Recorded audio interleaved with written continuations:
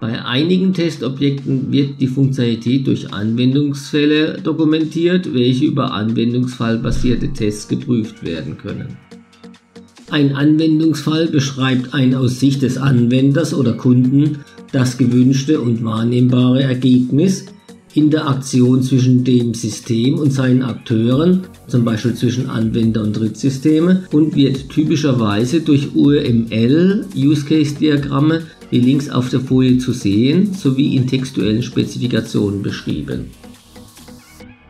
Hierzu ein Testbeispiel für den Anwendungsfall als Kunde anmelden von dem zuvor gezeigten UML-Diagramm.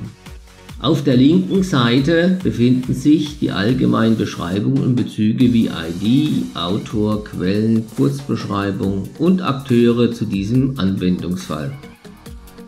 Auf der rechten Seite befinden sich die prozessspezifischen Informationen wie Auslöser, Vor- und Nachbedingungen sowie das grundlegende alternative und außergewöhnliche Verhalten. Anwendungsfallbasierte Tests leiten ihre Testfälle aus Use Case Spezifikationen mit ihren Vor- und Nachbedingungen, Ereignissen sowie den Haupt-, Alternativ- und Fehlerszenarien ab. Oft wird aber vergessen, dass auch wichtige Informationen zur Integration des Systems im Use Case Diagramm bzw. bezüglich der Schnittstellen zu Drittsystemen dokumentiert sind.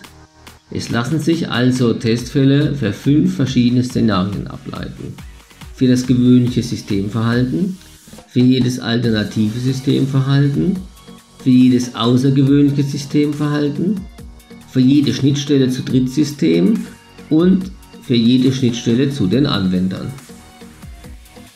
Mit dem anwendungsfallbasierten Test können abstrakte Testfälle gebildet werden.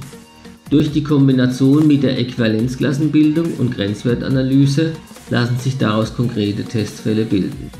Typische Endkriterien sind festgelegte Überdeckungen zu Szenarien und Schnittstellen. Das Verfahren eignet sich besonders, um typische Benutzer-System-Interaktionen zu prüfen, insbesondere im System- und Abnahmetest